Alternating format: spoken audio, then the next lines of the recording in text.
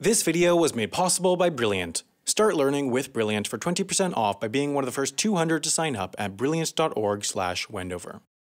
Political alliances manifest themselves here, on the voting floor of the United Nations General Assembly in New York, New York.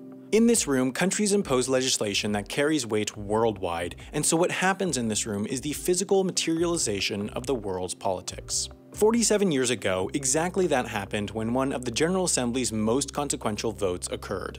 China, you see, essentially has two governments. There's the Republic of China, which used to control the mainland and Taiwan, but today only administers Taiwan, and there's the People's Republic of China, which controls the mainland. Both claim to be the rightful governments of all of the Chinese territory, both Taiwan and the mainland, and so back in 1971, the United Nations had to decide which government would represent China. Essentially, the question was which government was the rightful leader of the territory, as there could only be one in the United Nations. The US was the main superpower opposing the People's Republic representing China, as it had a strong political and military alliance with the Republic of China government, and so the vote was essentially the US's sphere of influence versus the world. Among the 35 countries that voted against the People's Republic were much of Africa the Central African Republic, Chad, Gabon, Liberia, Niger, South Africa, and plenty of others that sided with the US. Despite the US's effort, the resolution ended up passing, and the representative government for China in the UN was switched to the People's Republic of China. But what's interesting about this vote is not the result, it's who voted against the People's Republic. Since that 1971 vote, you see, something has changed. In 2007, the UN General Assembly met once again to vote on whether to adopt a resolution condemning the human rights situation in North Korea. As one of North Korea's strongest allies, this vote was China and its sphere of influence versus the world. In this vote, though, only Burundi, Equatorial Guinea, Eritrea, Ghana, Kenya, Lesotho, Liberia, Madagascar, Malawi, Mauritania, and Tanzania voted against China. All the 43 other African countries either abstained or voted no along with China because in the 40 years between these votes, political ties changed. Africa no longer bows to the US. Much of the continent is now economically and politically aligned with the world's fastest emerging superpower, China. The simple answer for why this is is because China has pumped huge amounts of money into the continent of Africa. They're buying allies. For example, China built a $3.2 billion railway in Kenya trekking the 300 miles from Nairobi, the capital, to Mombasa, the second largest city and primary port, in 4 hours and 30 minutes. That's faster than what the fastest train in the US, the Acela Express, takes to travel the equivalent distance from Philadelphia to Boston. China also built a $526 million dam in Guinea, which helped push the country from having constant power shortages to making more energy than it needs and selling the extra capacity to its neighbors. China also built a $475 million light rail system in Addis Ababa, Ethiopia, the first of its kind in sub-Saharan Africa, designed as a way to combat the capital's crippling traffic. These are only a sampling. There are literally hundreds of others of Chinese infrastructure projects in Africa each year. All across the continent, China is playing a part in projects both big and small that are transforming African economies. It's important to note that these projects are not, though, free. Each of these three were financed by loans granted by China's state-owned and controlled Export-Import Bank, and these loans do of course need to be paid back by the countries granted them. Large African infrastructure projects, though, would be viewed as risky by any traditional bank and would therefore struggle to get financed, but China's Export-Import Bank doesn't care. Assuming cooperation between the Chinese and African countries' governments, this bank will give low interest or no interest loans to African countries so they can build these trains or dams or other projects. These loans are therefore considered a form of foreign aid since China doesn't expect to get all their money back, at least adjusted for inflation, since they're not charging much interest and there's a high risk of default. Of course, China isn't just financing these projects out of kindness. For each of them, there's a political goal behind it.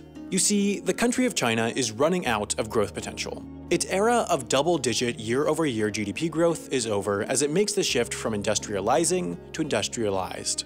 Africa, meanwhile, is one of the least developed areas of the world, and a lack of development actually makes fast growth easy.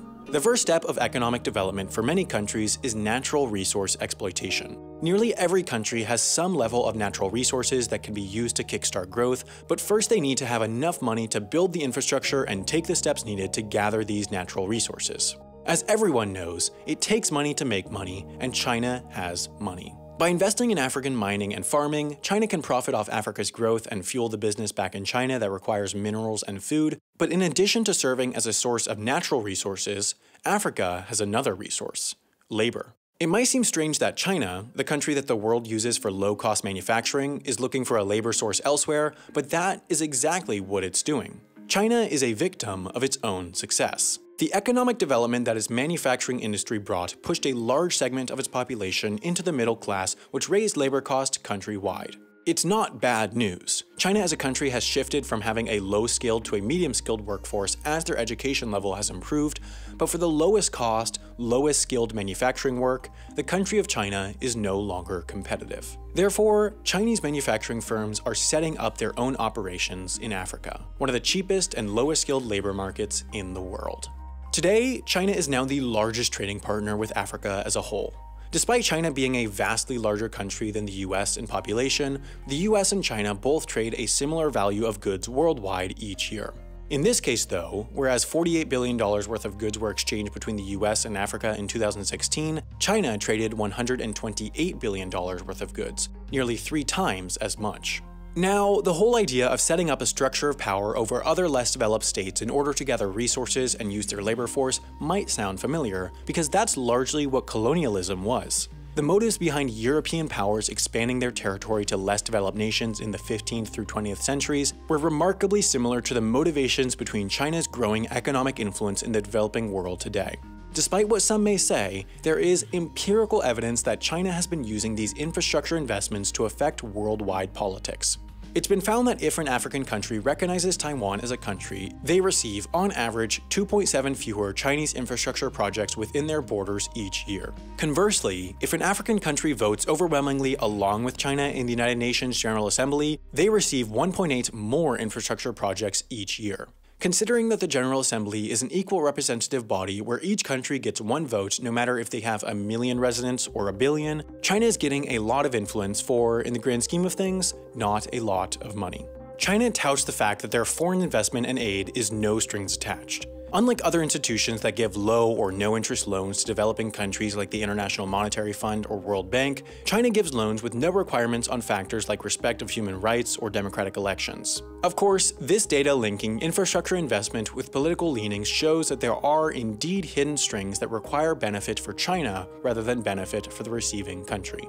Western powers are understandably concerned about this shift in power dynamics towards a country with vastly different ideals.